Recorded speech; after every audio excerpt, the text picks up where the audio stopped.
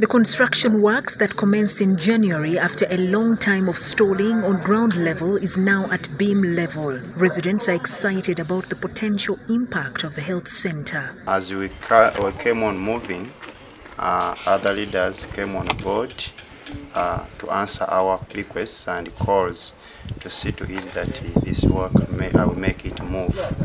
And the community has been our upper hand as far as this is concerned, for they have put in their money and they have put in their energy. Vincent Luhulwa, the construction committee treasurer, says after they ran out of funds, they looked around for well wishers to help support the project. And there are some political factors. Some people have again engaged in politics in development.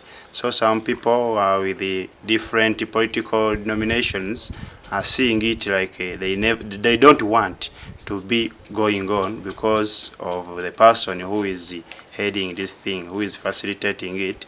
However, we go on always sensitizing them, uh, telling them that the development doesn't know which political party Our people of Chitobo, they really need a healthy facility.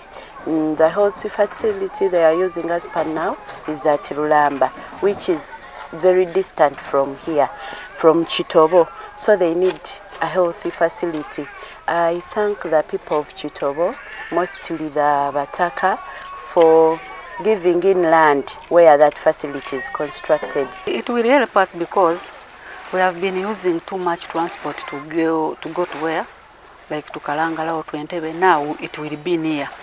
Uh, we will just go there without transport. Chitobo Island accommodates over 3,000 islanders who have been pleading for a health facility since 2016.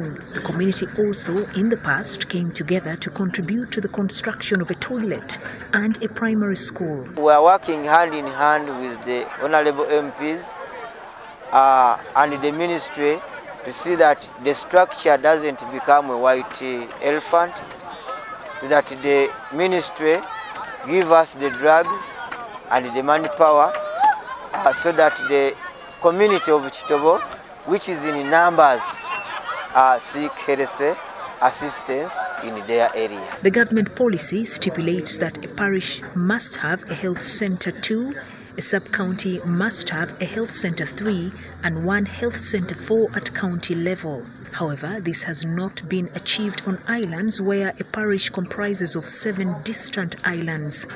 This makes it hard for the majority of islanders to access health services due to transport hardships. Report by Samuel Nkuba for the news in Kalangala.